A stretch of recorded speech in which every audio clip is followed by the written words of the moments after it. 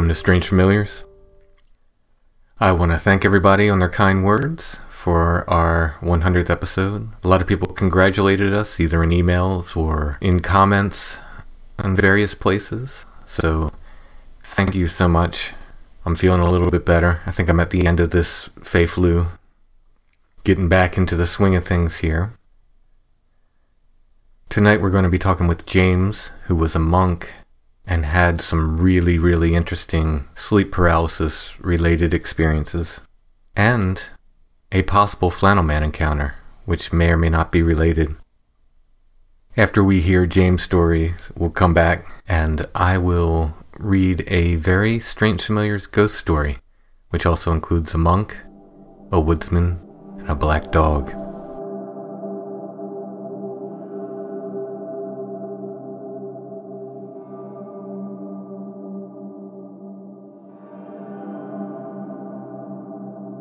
Before we hear my interview with James, though, I do want to thank our patrons. Strange Familiars is brought to you by our patrons at Patreon, patreon.com slash strangefamiliars. We would not be able to make the show without the help of our patrons. If you'd like to help us make Strange Familiars, and you can get extra shows besides, you can go to Patreon and become our patron. Patreon.com slash strangefamiliars. $3 a month gets you extra content.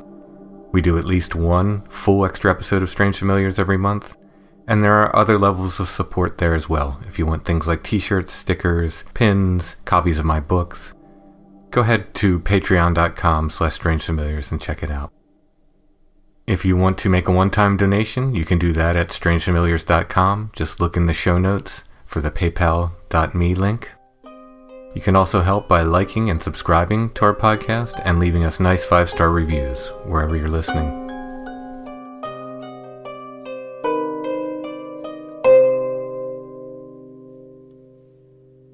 Tonight we're talking with James, who has a really, really interesting sleep paralysis experience. If it's sleep paralysis, I mean, it, it almost sounds like something more, but uh, we'll let you tell your story. Did it start at this monastery? It did. It did. Um, so yeah, I was uh, 18 years old, and it was kind of a long story. Uh, I, I was basically I didn't know what to do after after high school, and a cousin of mine pulled a fast one on me. He he was dating this girl that was her mom worked at the uh, a city college over in Oxnard, which is about an hour north of LA, in California, and he felt like the mom was owed a favor by the monks. So I was floundering. I didn't know what to do, and um, he got me into this monastery for school. I was not religious. Uh, religion was not my thing. I knew almost nothing about it, but I got dumped off there and I got into city college to a city, city college there. And so I started living that life. And I mean, I won't go too deep into it, but there's a lot of cool things about it, you know, helping out people and, and being there for others. And that, that part I really liked and working towards a greater good. I mean, religion's still not my thing, but that aspect I really like. So sure. Um, I mean, I, it's not that I've talked to a lot of people on the path of monkdom, monkhood. Yeah, uh, yeah. but stumbling into it is a really interesting way to get there. Yeah, it, it it just thrown in there, and yeah, it was a.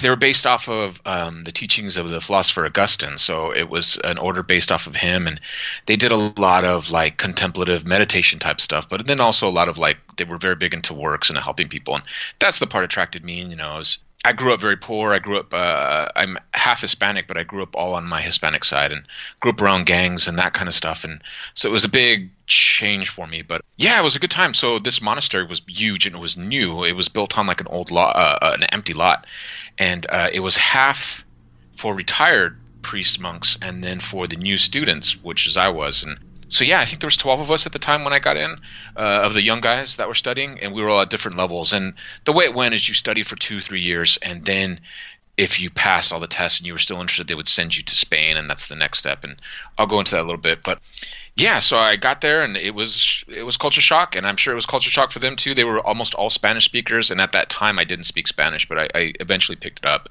Um, so major culture shock. Building was cool. It was a new building. That's uh, that's one of the interesting things. It was a new building, but it was built, I guess, on old ground as an empty lot, from what I'd been told for years. And so, just to describe the rooms, they were built like uh, we each had our own room, and they were built like shoe boxes. And there was a small standing bookshelf for lack of a better word. It was part bookshelf, part closet, and it right in the middle. So it, it divided this shoebox into two rooms essentially. But there were so few students that we each had our own room. So I had these two, yeah, this this giant shoebox all to myself, and so I essentially had two beds, two desks, all that stuff. So yeah, so it was around 90 end of 93 beginning of 94 and I'd been in there about 6 months and I was uh, sleeping uh, one day and again, this was all new to me, all this religion stuff. And I was sleeping on the bed, and I was overwhelmed by this sudden sense of fear. And uh, I was on my bed, I was asleep, and I was uh, face down. So this overwhelming sense of fear got me, and I was just scared. And my eyes popped open, and I, I, I couldn't move. I was totally um, in place, couldn't move, uh, um, and yet I could feel myself being pulled. And what's interesting, it's not like I could feel myself being pulled off the bed, and it wasn't like something had my ankles or something was dragging my arm or pulling my hair or whatever. It was I don't know, like all of me was moving as one. And I remember being so scared, like what the heck is going on? And I couldn't move, I couldn't shake anything. I I, I was trying to wiggle fingers. Um, the only thing I could do is I could see out of the corner of my eye, like peripheral vision. And as whatever it was started to drag me off the bed, I hit the ground, and then I could see a little bit more, and I could see like a vague I hate to use this term, but like a greenish mist, and it was on the corner of my eye, but I couldn't see too clearly. But one detail I forgot to add is as this started, and as I was slowly being dragged off the bed, I could hear what sounded like somebody jumping on the other bed, and it was this squeaking, this consistent squeak. And what was weird is the further I got dragged off the bed, the faster the squeaking got. So it was just the steady squeak, squeak, squeak, and it got louder and louder and louder and stronger and stronger and stronger, and it was a more rapid pace and then slowly I was dragged under the bed. And again, it wasn't like, and I'm a big guy, just I'm, I'm like six four, way, but back then I was probably about 240, 250, and uh, uh, whatever it was, just moved me slowly, and it moved me as one again, like I wasn't dragged by a body part or anything. It was just the whole thing, and then slowly being dragged under, and the noise is getting louder and louder and louder, and I can see that green mist. And for lack of a better phrase, I got real religious real quick. um, so I started praying. Uh, what little I'd learned, some of the prayers I'd learned, I started praying, praying, praying. And at that point, it eased up. I could almost feel like the pressure let go, and I gained movement in my hands immediately, and I gained movement in my legs. And I pulled out from under the bed, and I sat down on the bed, and trying to figure out what had just happened, and I was dreamlike state. I, I, I was just in shock. That's the best thing I can uh, attempt to it. And you know, I'm a very like real life person. Uh, um, I had seen drive-bys growing up and things like that, and to me, everything was very black and white. And I was trying to figure out like what, what the heck just happened. So yeah, it was very hard for me to to try and figure that out. And I, I just kept telling myself, this it, it has to be a dream. I mean, there there is no other answer. It has to be a dream so yeah, fast forward a, a couple days, and uh, it's started to really bother me. It, it, it, the movements were so vivid, and after it happened, I, I, forgot to mention, but I immediately went to bed. I just I I was kind of in shock, and I went right back to bed. And I think back, like, why? If it was so shocking and so awful, how could I just lay right back down and go right back to sleep? But um, I don't know. I think it was all kind of part of it. That, yeah, that's not uncommon in all these experiences across the board. It's not uncommon at all. It makes no sense, but it's not uncommon. Yeah. yeah, so I struggled with that for a while, and then over the next couple days, I, I, I had told myself it was a dream, and yet ex- the, the, images were so vivid. Um, that green light, the green mist, or whatever it was, and the movement and the way I was moved, and the squeak noise, it just it really bothered me. So I did some research. I went to the library, and this was '93, so there was no internet back then. Um, I went to a local library, and I was going to that city college, so I went to the library there, and did research and found medical conditions, night hag, I think they called it, and night night terrors and so I was very happy with that answer. I thought, okay, easy peasy, this is done. It was just, it really was just a dream. Totally cool. So at that point, I was done. But again, I, I, uh, I was still having trouble trouble with it. And a couple weeks went by, and I was um, on break at school. And one of the monks that I was with, a real good guy, uh, his name was uh, I'll just call him Alex. And um, Alex and I had a break, and we were together, and he starts telling me this story. And the story that he's telling me is identical to what had happened to me. And no, just to give some background, the reason why he would tell me this is Alex and I, uh, we were both the same age, and we are both young. We were the youngest there at the monastery, and we had gone to. They'd have these conventions, and we would have to go to, and these big religious things, and kind of talk about the monastery in the hopes of getting new recruits or whatever. And we'd gone to this one, and he and I were both. I was very new to religion. He is not as much as me, but uh, basically, when the priest would go to these big convention things, it'd be thousands of people, and he, the priest or whoever would walk around. People would act like they were possessed, and I'm not saying they were, they weren't, or whatever. But uh, we had this one experience where the voices and the noises were so awful and ugly, and Alex had, and I had been sitting together. We kind of shared that experience, experience, and we're both like, "What the heck is this?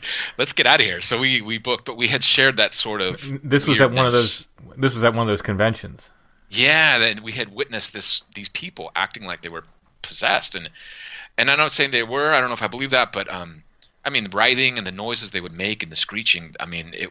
We were way up in the stadium, and the, the noises sounded like they were right there with us, and different languages, and I mean, it was really bizarre. So, you know, being 18 years old, it, it frightened me a little bit, and not, and I, and I still didn't really believe in it, but I even so, it was quite scary so Alex and I had shared that moment. So then at school, he starts. I guess he he trusted me because we had shared that experience together. He's telling me, um, describing to me having the same sleep paralysis experience that I did, and he's describing that something pinned him down, and he said he, he he was on his back, so he could see a greenish mist, but he couldn't move his head. So I stopped him there, and then I said, "It dragged you off the bed, and it started to pull you under, and you could hear a noise, right?" And it was identical. We had had the same experience. Wow. Um, so a little thing I, I, had I had left out, a detail I'd left out.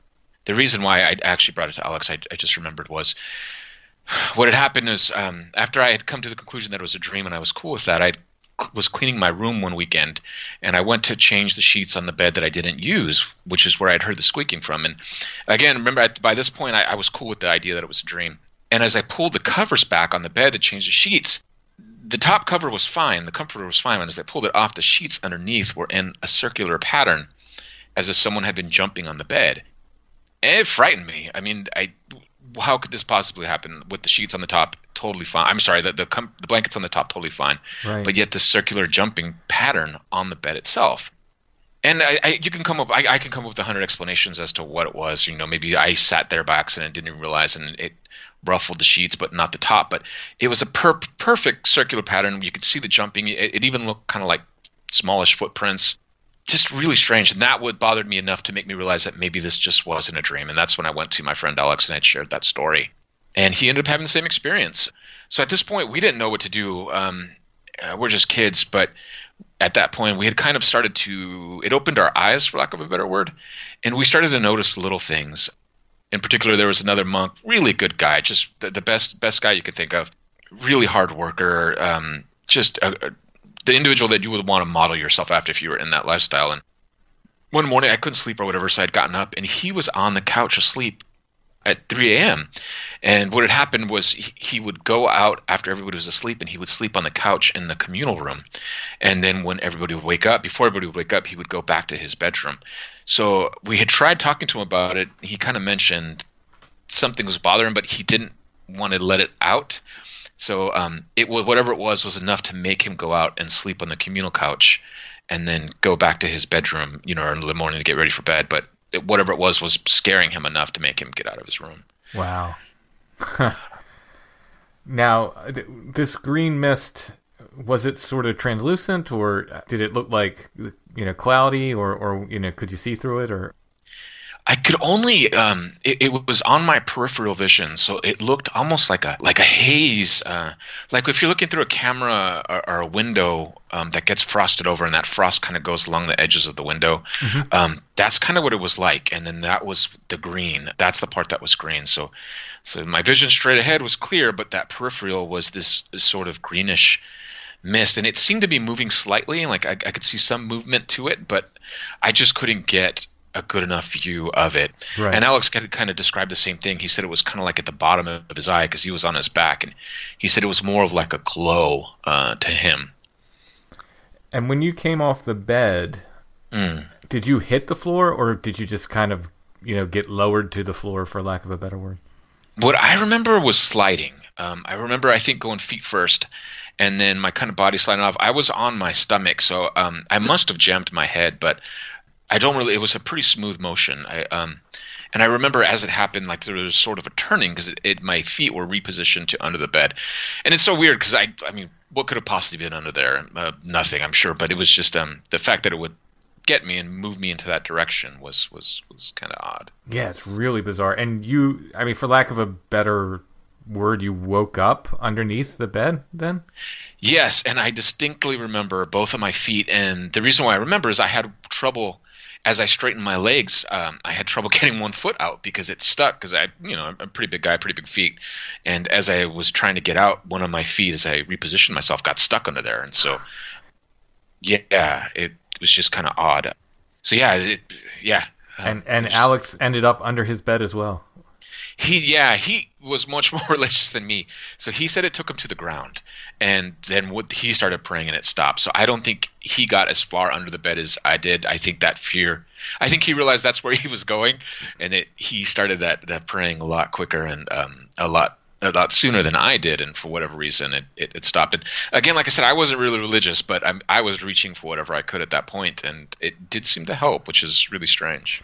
Yeah, yeah. Well, I like I think there's an element of, you know, for lack of a better word, belief to this stuff, and it does respond to that for some reason. I haven't put it all together. I wish I knew. You know, I, I wish I had something close to answers. I don't. I've got a million questions but uh, it, there does seem to be some effectiveness in praying to rid yourself of this stuff, or at least to interrupt it. There was like a one other little piece, because it happened again in, in, when I was in Spain, and I'll, I'll, get to that in a minute. But in here in in, in Oxnard, there was one other event that we happened, and um, there was this one guy. He he wasn't on the track to become a priest. He was on the track to become a brother. He he didn't quite have the academic skills, and he so he was going to be more of like a monk style, mm-hmm. and um, just I mean, again, I, I, hate to use this term to describe him, but just a really holy guy, like a really good, good guy, just as giving and as charitable and just wonderful as anybody, just so good. We started to notice that uh, Alex and I, because now we were on the lookout for this kind of stuff, that he uh, was getting these huge bags under his eyes, and um, he was falling asleep in prayers. And to to say that is kind of funny. You know, anybody, everybody would fall asleep in prayers at one time or another, but not this guy. Like this was the this was the Superman. I mean, he was amazing. Just he really cherished those moments, and for him to fall asleep during that time was just not like him. So I tried talking to him, and he said that something was attacking him. And when he told me that, I mean, that's so for me. Even though I'd had my moment, that's just so wild. And he said it was like a wind in his room like a wind would shake him and, and move him and not allow him to sleep and that to me was just so out of the realm of, of ordinary for me like just to, to, even say that sentence just sounds like in the realm of fantasy so he describes this to me and uh, alex and i talk about it and one night alex and i were just walking for whatever reason and we heard commotion so we went down the hallway and we could hear what sounded like things being shuffled and blown about and movement coming from this guy's room so we knock on the door and he opens it and he looks tattered. I mean, his shirt is like stretched and pulled around him, and we could literally see he had uh, like pages of paper uh, and like little prayer things on his wall, and they were literally flapping oh, wow. as if something had been blowing as we opened the door and like they were settling from the wind. He had like scratches on his arms, and again, that's stuff that you can relate to normal. I mean, maybe he was doing that to himself. I, I don't know. To me, that's the most obvious answer. But for what? At the end of the day, that that's what's weird about it. And um, Alex and I ended up finding some prayers, and we ended up sharing our story with this guy, and we ended up getting this um, shirt blessed by a priest, and this guy slept with it every night, and he said that after that, these attacks that he had, for lack of a better word, had stopped. Wow. Wow. It's so interesting. It's so interesting. So, did this continue, or did something else happen in Spain? So um, after this, I had become a little more aware of, um, of these dreams, and I, I don't remember. I, I, could have had more. I don't remember. But so in Spain, I had gone to the next step, and at this point, I was a, a full-on monk. So I had my robes, and I was living in this tiny little town basically an, an agricultural village. They grew grapes and, and wines um, way in the near the north of Spain, and so I was living there in, in, this monastery, a tiny little town of about 300 people, and in the the end of the town was this monastery. So I stayed there and did my studies there.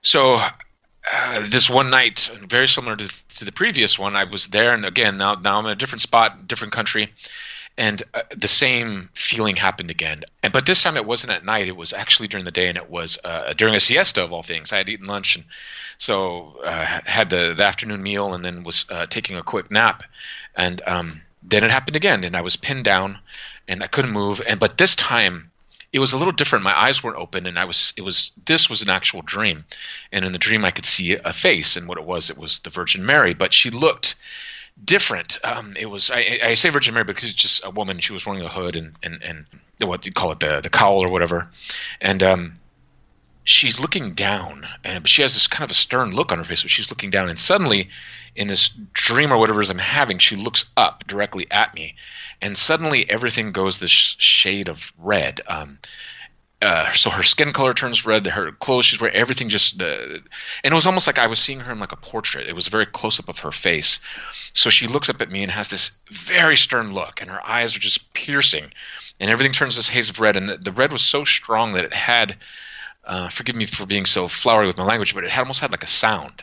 Like when it switched to that red, it was just a vibrant sound, and it was shocking and it was horrifying. And I wanted to scream and move, and I was pinned. So again, I started to pray, and as soon as I started to pray, the color faded uh, from her and from what I was seeing, and she kind of looked down, and then disappeared. My eyes popped open, and what was I struggle with this a lot because again, it's out of that realm of of what's real and what isn't real. But I open my eyes and I'm looking down at the bed that I was laying on, and it's about a foot below me. And um, suddenly, as soon as my eyes open, my whole body drops and I hit the bed like a brick. I hear, I hear everything squeak. I hear the bed almost give in because again, I'm a pretty big guy and it was a decently long drop. So I was I floating or levitating? I don't know. I don't like to think about it. Um, and again, it's a memory I haven't really thought about since well, it's probably what 94, 95. But yeah, so yeah, that that happened. I was floating above the bed and I hit it like a like a ton of bricks, and that was the, pretty much the last really bad one that I remember. Wow. Now, do you have trouble going to sleep? Not to mention that night, but every night thereafter, or is it just the kind of thing where, you know, well, I have to sleep, you know?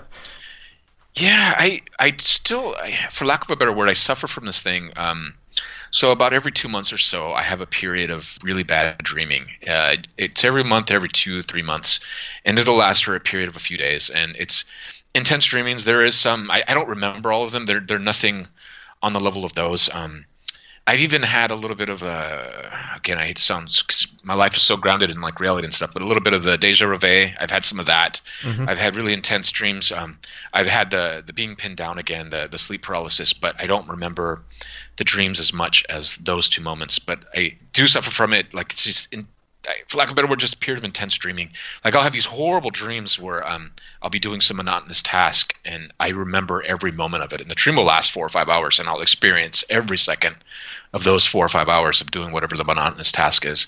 One of the sad things is my children actually suffer from it. They both have that same kind of uh, weird sleep cycle, and I feel very sorry for my poor wife. Ah, uh, yeah, yeah it was just an awful experience that and it's it's happened so much over the years um, like i said i don't remember them as vividly as those but i even have techniques now to try and wake myself up quicker to, to gain motion back quick like I'll, I'll start with my hands and start of trying to flap them side to side and slowly rocking at my hips to try and get my body side to side to snap me back into into full consciousness yeah, yeah, it's, it's, it's very weird. Yeah, I've I've read that that helps. Like a lot of people say, like start trying to wiggle your finger and then mm. you know kind of move up from there or whatever you know there's there's different techniques and so forth luckily it hasn't been present in my life too much in the past 10 years or so so wow i, I have been uh, luckily not have to deal with it for a long time hopefully won't anymore because unlike my son i'm not fond of it yeah yeah. if he's going to experience it, if he's going to be, you know, be able to just take it in stride, I guess that's good. I'd rather have him that way than terrified. Yeah, that's actually a really good um, take on it. That's a really good take. Yeah, because yeah. I'm I keep trying to think like how because my children are, are young, uh, like uh, uh, seven, seven and nine, and you know how do I explain that? Then I don't want to tell them too soon because I don't want to scare them or plant something in their heads. Sure, know? yeah, yeah, I didn't like my son came to me with it like recent. He's Wow. 15. I want to say in the past year or so, and uh, he's seen some really interesting stuff, and I'm not allowed to. He he said he doesn't want me to talk about it on the show, so I'm like, oh, come on, come on. He's like, no, no. He so that they're his, not mine. But uh, I can say he deals with it very, you know, very matter of factly in a, in a way, much much better than I did. Like because I was ready to like you know try to. See if I could figure out a way to help him or anything, but he he seems way more well adjusted than I ever was with it. He says he just kind of sits through it and, and kind of observes and considers it an interesting experience. So, Wow. yeah, uh, that's good for him. Yeah, that's amazing. yeah, yeah. Now, now, the last time I had it, I actually I prayed myself out of it. You know, it was it was Hail Mary time, and uh, I, Right. w- I woke up saying the Hail Mary into my bed. I was on my stomach, into my pillow. I was saying it, so uh, that was, you know, again, it works for whatever reason. I don't know why, and I, you know, I'm not a super religious guy either. It's just uh, I grew up Catholic, and it's Yeah, just it's just something I've you know I've sort of come to deal with. Like I don't even question. I just have a relationship with Mary for whatever reason. It's just it, it is. You know, I, I don't even question what it's about. But uh, but yeah, I I don't know. You know, the religious would obviously say it's you know it's God interceding or something. But for for those of us who aren't as religious, I can't say why why prayer would work unless it's just a uh, an element of belief to the whole thing. You know. Um, yeah. and that it responds to it. Uh, not necessarily that you have to believe for it to be there, but that whatever it is responds to belief. I don't know. That's you know, it's just a, a working theory I have. When did sleep paralysis start for you? As far as I remember, that first one over in Oxnard was my first first first time with it. Oh, that's Um, interesting. Yeah, that that was my first event. So I mean, it, it I researched after it happened. I mean, I dove into a library. I, I dug into books trying to find. I mean, it's just in my head the way my brain works. There, there just had to be a, um, a rational explanation. There had to be something. It had to be something psychological. And so I, I just dove into the books to try and find that answer. But then as the little bits bits of evidence here and there popped out, then it just kind of threw me for a loop. Yeah, yeah, it's, and it's really interesting that that other people there were having. Well, first of all, Alex's account where he's had the exact same thing, but Yeah. then that that these other folks would have uh, anything at all going on is also really really interesting. Kind of out of nowhere question, but did Yeah. did you in anywhere in your at any time in your life did you see a UFO? No, but I. It's funny because you know I, I I truly enjoy your show and um, it, it there's things that were talked about on your show that helped me and you know to, to to be okay with my own experience and realizing that I wasn't the only one out there that had some sort of sleep paralysis show. But one of the I was listening to to your um to one of your your what do you call it the flannel man ones and one of the you said that oftentimes people have uh, sleep paralysis associated with it. And I was thinking, you know, I've never had a, a, a flannel man. But then also, I was doing the math, and I, I may have had one, and it would have been directly six months before I had my sleep paralysis event. Well, let's hear about this, please. Yeah, so this was in the summer of '93. I was I had just graduated from high school. I had just turned 18, and while I was in high school, I was in a play, and I had made friends with these two dudes that I didn't know very well. We were in the same class, but we didn't know each other that well. But because of the play, we became really good friends, and we had a um, similar taste in music. You know, grunge was the thing at the time, so we had we shared this love of grunge or whatever music. And um, one of the dudes said, "Hey, when we graduate, let's take a trip to Seattle. Uh, so I'm in California. I'm in the giant, what they call the Central Valley, which is a giant, you know, the whole center of California, and it's poor, arid, you know, very ag heavy. And we, so Seattle would have been about it it was a 15 hour drive for us. So we decided, yes, let's do this. So summer came. It was August, I believe, or end of July, August, and three of us went, and it was great. I think I had $150, $200 in my name, and we went up for two weeks, and um, just being 18 year olds and one of the guys drove and we took turns driving and we took his car up and we stayed at KOA camps we stayed at dive bar or I'm sorry dive hotels. We just had a blast and Seattle was great and he knew a dude there that was a few years older than him. I guess they had worked together or whatever and the guy was going to art school down there so he let us stay at his place. Because he was in art school he knew some bands we got to see some bands record. I was walking we were walking to a coffee shop and I bumped shoulders with the dude and I turned around and it's um the drummer from Nirvana what's his name uh, Grohl Dave Grohl Yeah, yeah. yeah, and then Kurt Cobain was standing next to him, and it was the whole band, and it was just like this weird, strange story to tell. And so it the whole two weeks was like that. It was just all these adventures, and it was a lot of fun. So at one point, like I had mentioned earlier, I was kind of lost at that time. None of my family went to college. I didn't know what I was going to do.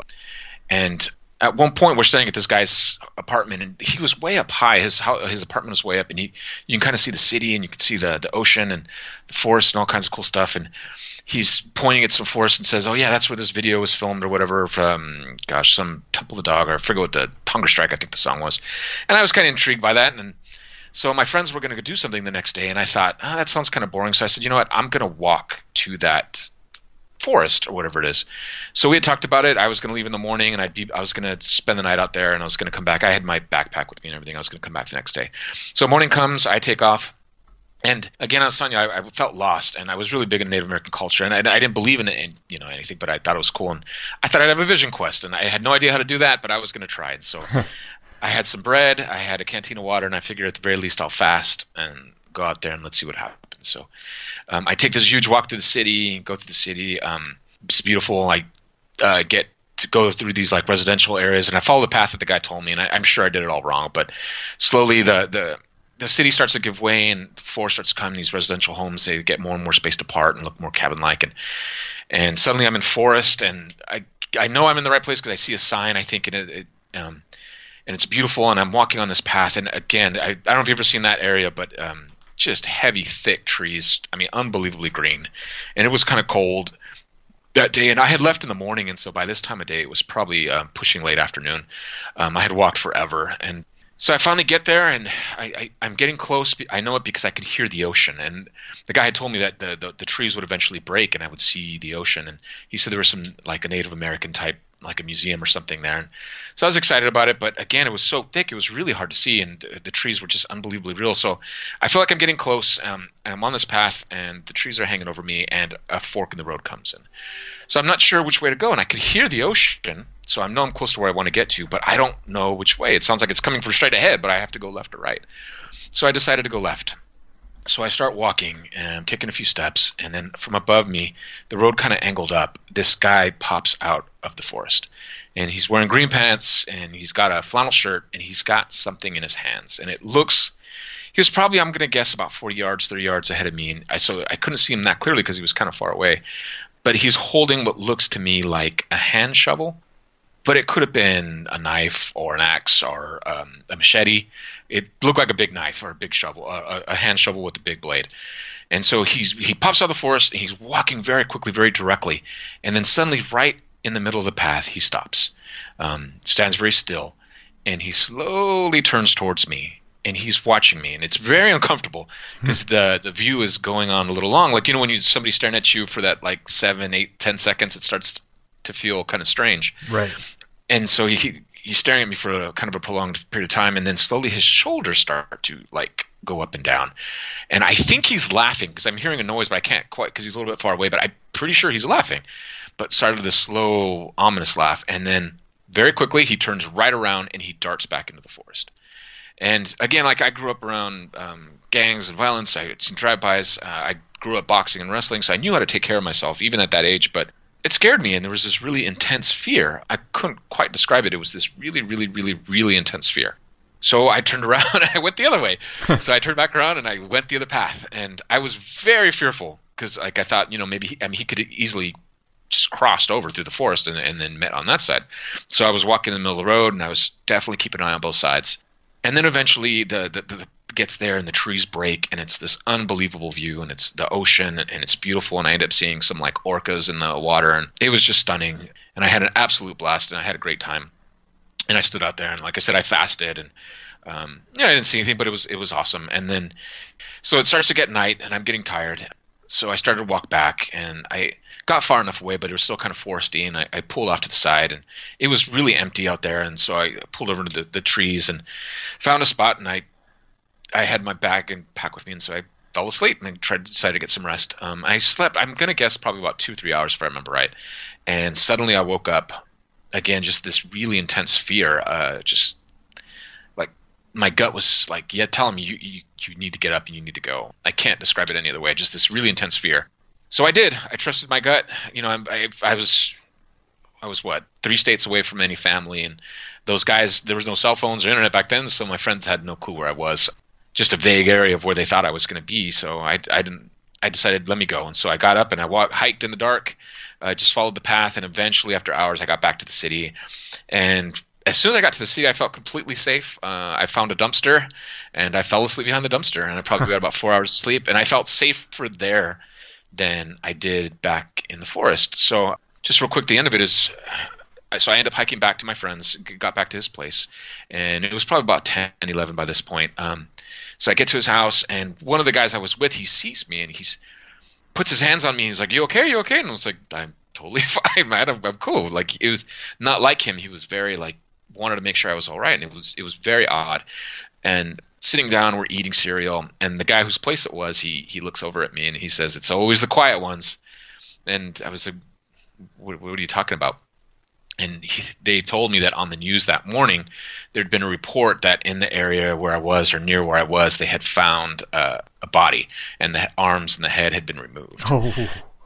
And so again, I, I always tell the story as like I just I, I you know I embellished a bit. I, I added more the more details, but normally I just say you know I went to Seattle, I hiked, and you know I saw this guy and it was creepy, and then found the bodies in the morning. But yeah, I I wanted to give you the the whole you know all the small details because again, it doesn't fit all the things. I, I, I still, you know, I think it was just a weird bunch of coincidences, but yeah, it was kind of creepy, and it, I thought it fit a couple of the bills, so I thought I'd at least show. Yeah, no, it's it's really interesting. Now, did you say he was wearing like like red plaid shirt?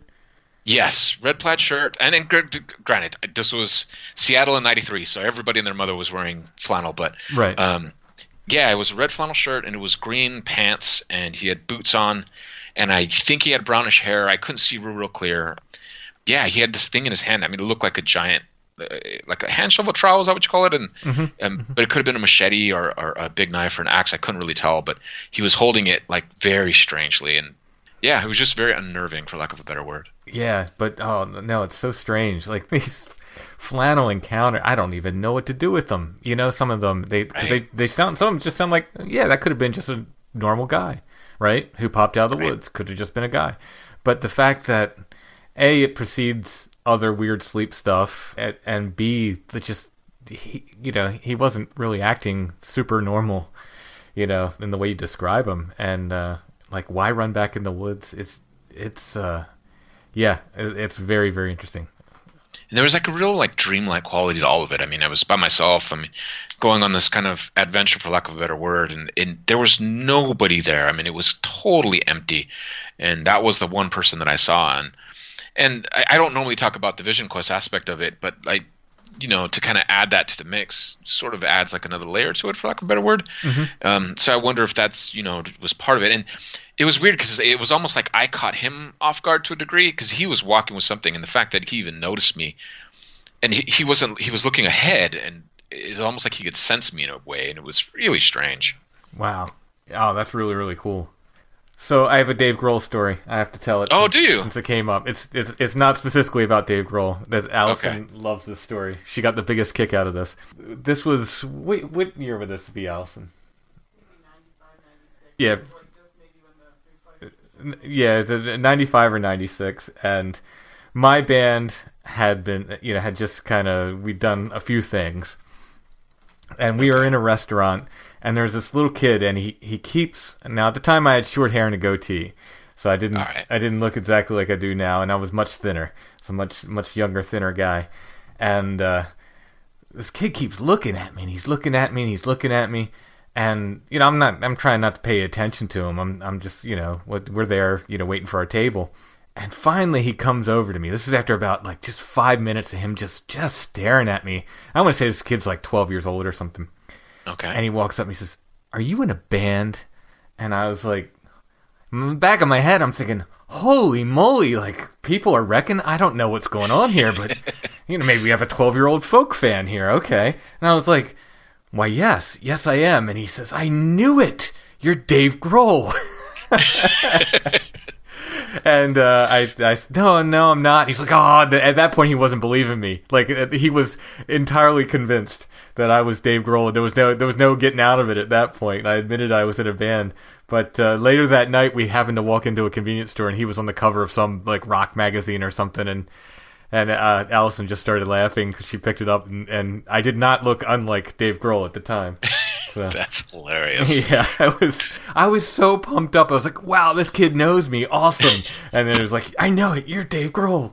This is my uh, my brush with Dave Grohldom. Now, if only I had the money to go with it. Yeah, truly, truly, truly. Yeah, yeah. That that whole and that whole trip was kind of like that. I, I mean, I know there's. I don't tell this one too often, but so we were there in Seattle, and the the guy that whose place we were staying with, he he had to go to school for whatever reason. So we go with him and we're waiting outside and he, he goes to a classroom or somewhere to get something. And so I forget where my friends had gone, but I was by myself sitting on a bench and I was reading or something. And this guy comes and sits next to me. And so I'm no worries. I'm just ignoring him, just reading my book. And he goes, Hey. So I turn around and I look and the guy's sitting with really long shorts on and he's got a flannel shirt on and like a black shirt and he's wearing a mask. And it's like, a, I think it was a clown mask. and so I'm like, okay, hi. And so I continue reading. He goes, "Hey, I I'm Eddie Vedder." And so I'm like, "Okay, sure. Hi, hi, Eddie." And so I continue reading, and then he goes, "No, no, really." And he lifts up his mask, and it's him. Wow. And then he puts the mask down, and he goes, "Don't tell anybody, okay?" It's, it's, like, what am I supposed? To, I, I don't even know what I'm supposed to do with this. I, I no clue. So we talked and you know said a few words, and then eventually he got up and he left. And he said he did it because he didn't want anybody to notice him, but I mean, come on now. Yeah, right. Um, yeah, now you're making yourself more noticeable. That's yes. hilarious, though. I love that story. That's amazing.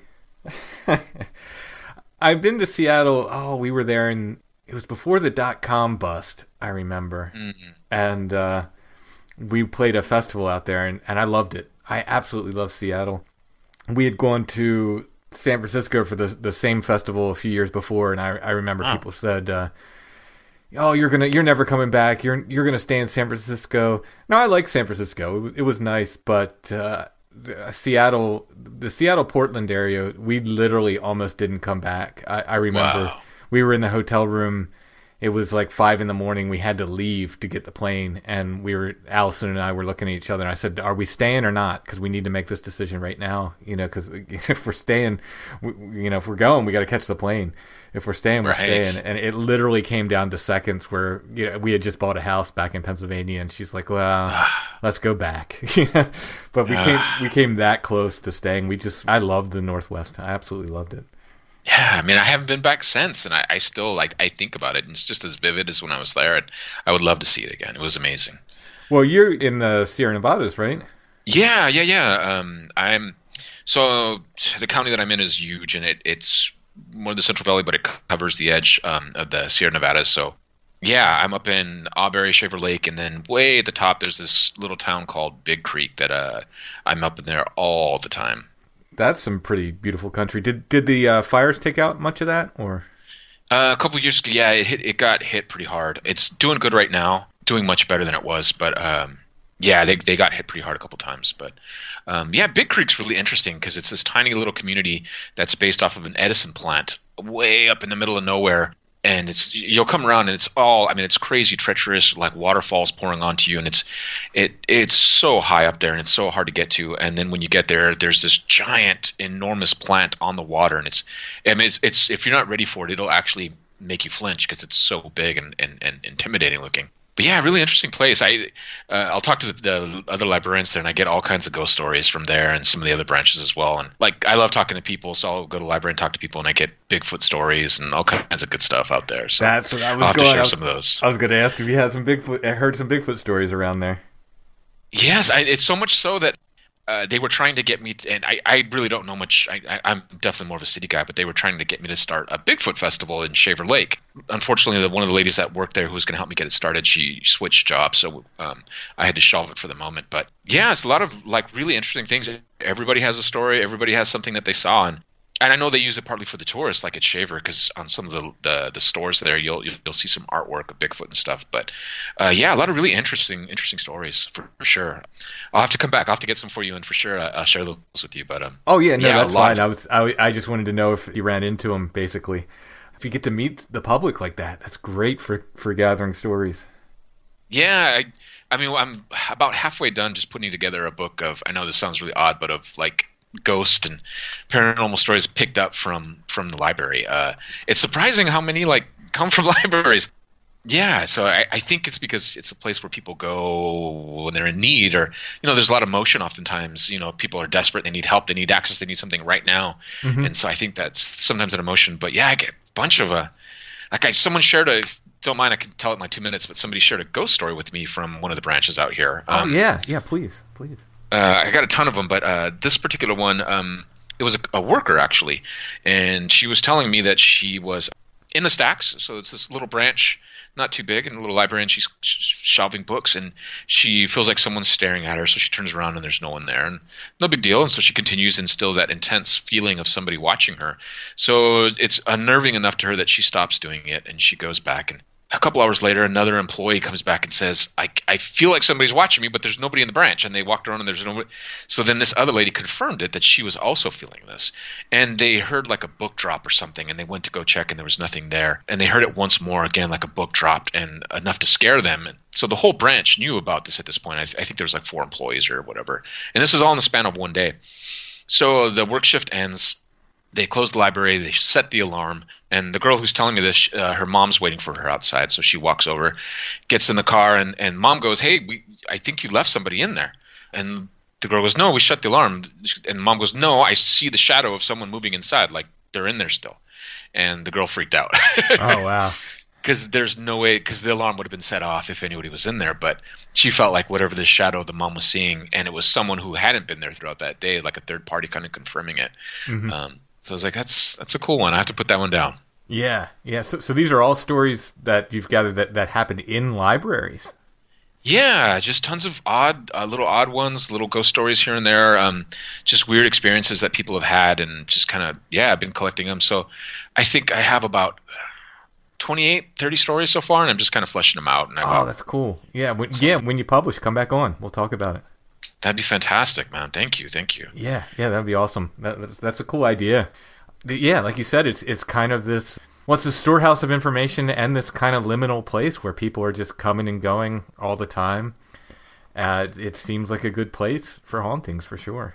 Yeah, and if you're ever in the neighborhood, man, please let me know. I'll set up some people to talk to you about uh, um, Bigfoot stuff for sure. So yeah, let, give you a tour of the, uh, the the libraries and the towns in the Sierra Nevadas there, because like Shaver is amazing, just so gorgeous. Yeah, I have to do. so- uh, Once I get done this book with Josh, I'm going to set up some traveling. I think because uh, Nice. I've been it's been too many years, and like I said before, when you know I toured the country with the band, but I didn't get to see anything. I got I got to see the inside of clubs and and the ceiling above whatever couch I slept on, and that's about that's about all I ever saw.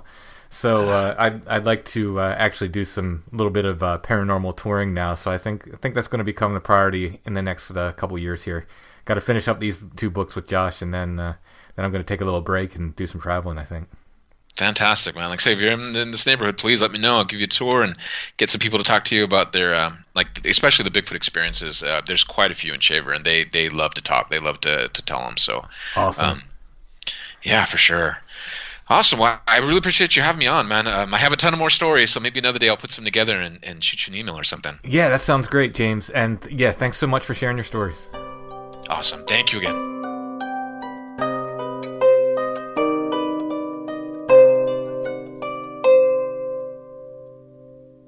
So, speaking of monks and ghosts and things strange familiars, I found this story of a woodcutter and ghosts and black dogs. This was published in the National Gazette from Philadelphia, Pennsylvania on the 13th of February, 1830. The Domburg, an ancient German tradition. And There's a note that says the Domburg is an old castle now in ruins, situated on the eastern extremity of the Hackle Forest, adjoining the Harz Mountains. With shuddering fear, the wanderer approaches the ruins of the Domburg. Horror seizes him if he should chance to be overtaken by night in the adjacent district. For when he enters the grounds of the castle after sunset, he hears, deep beneath his feet, mournful moanings and the clanking of chains, and at midnight he sees, by the pale moonlight, the ghosts of the knights of the ancient times, who once ruled with iron scepters over the surrounding country. Twelve tall white figures stalk forth in solemn procession from the ruins, carrying a large open coffin, which they place upon the height and then vanish, and the skulls which lie scattered about are often seen moving among the cliffs. For a long time a band of robbers dwelt in the Dumburg, who murdered the passing travelers and plundered the neighboring churches of their rich treasures, which they stored up in the castle's subterranean caves.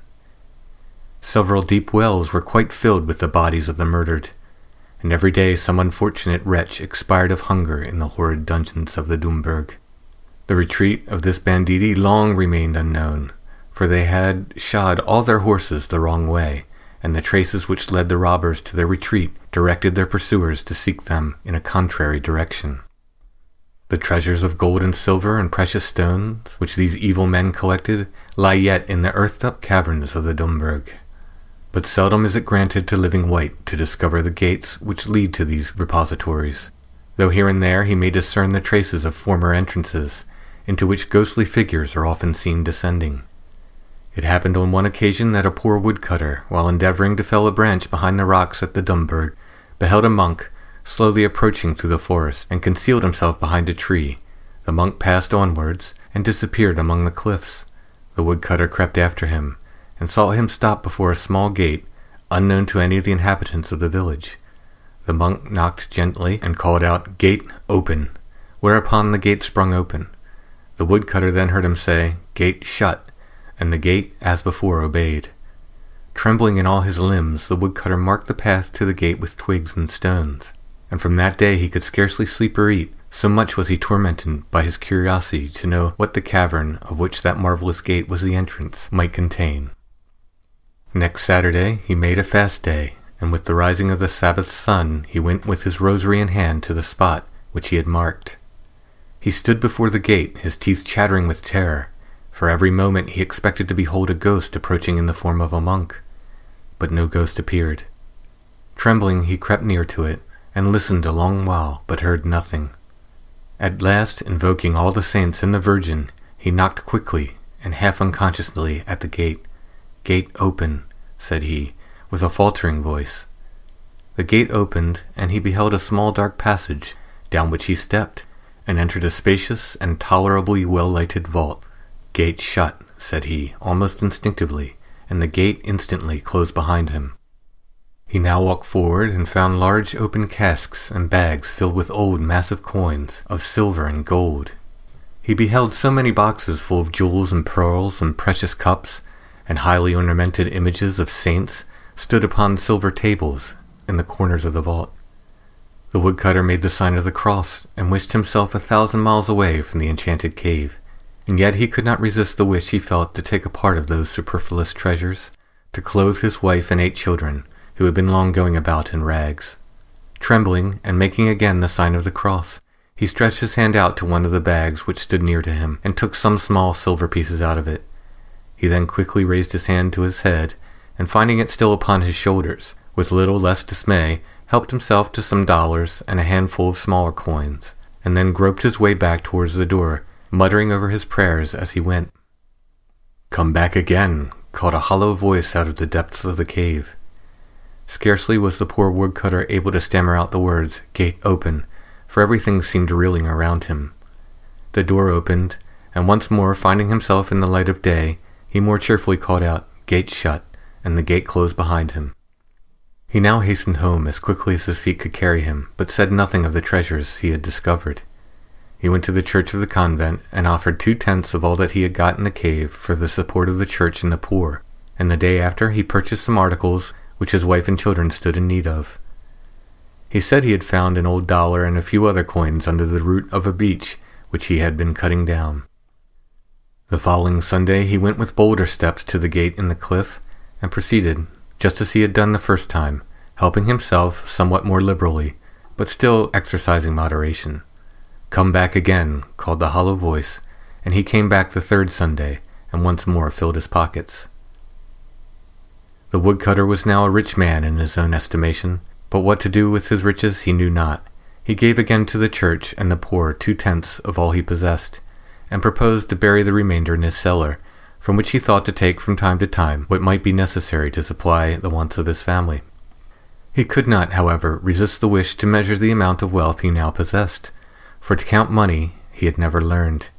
He went to his neighbor, a man of immense riches, but one who starved himself in the midst of all his wealth, a corn usurer, who cheated his laborers of their wages, robbed widows and orphans of their possessions, gave loans upon pledges, and had no children of his own.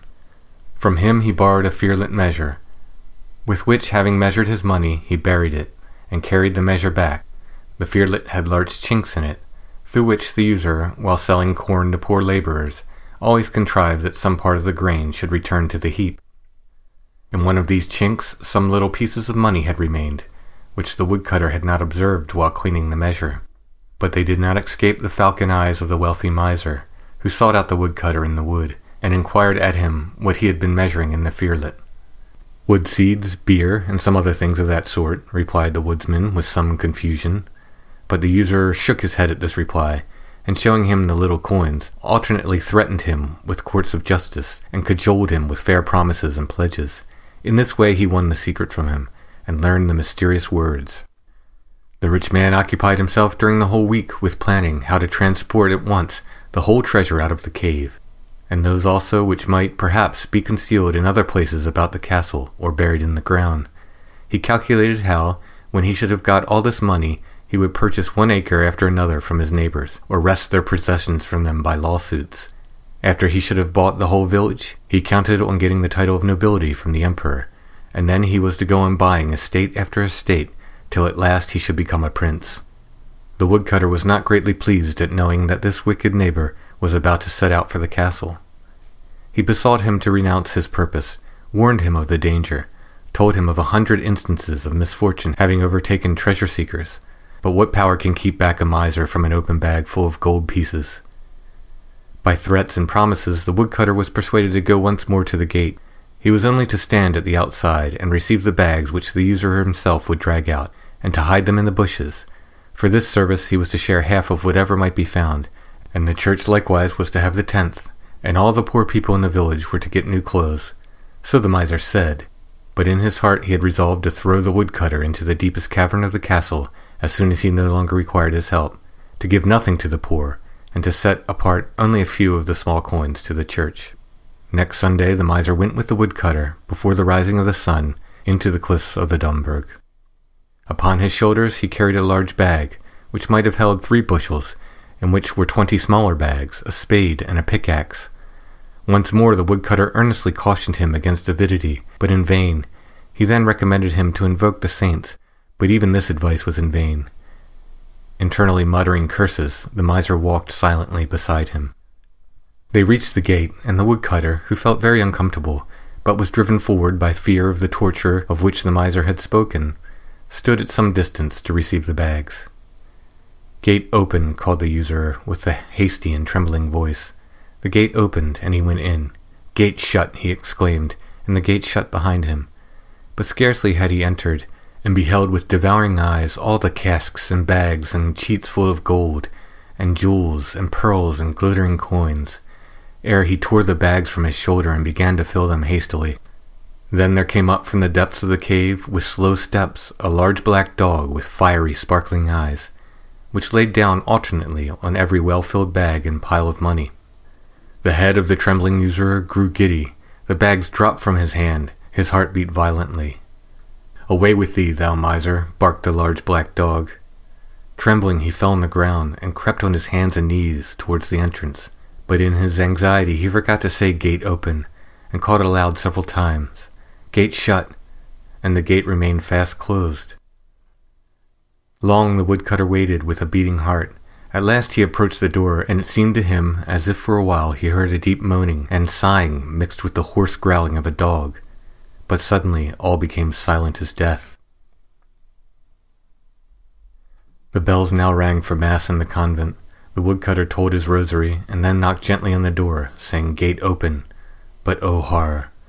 There lay the bloody body of his wicked neighbor, stretched out over his bags, and the casks and chests full of gold and silver and diamonds and pearls, sunk before his sight, deep and yet deeper into the ground.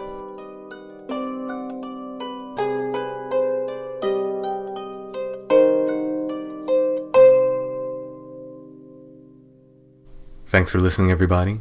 We will be back soon with another episode of Strange Familiars. This was episode 102. If you're wondering where episode 101 is, it was a patron episode. To get every episode of Strange Familiars, consider becoming a patron at Patreon.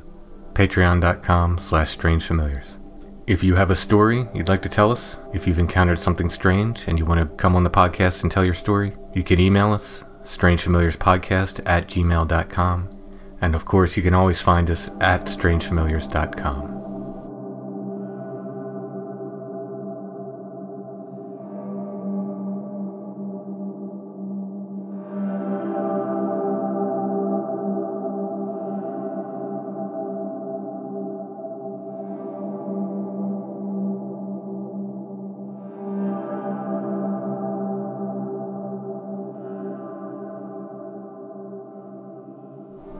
Strange Familiars is a production of Dark Holler Arts, music, books, art, podcasts, and more.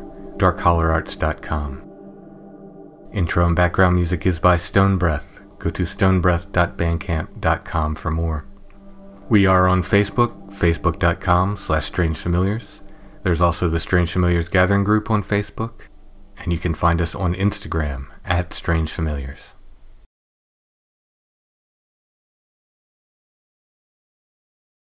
Música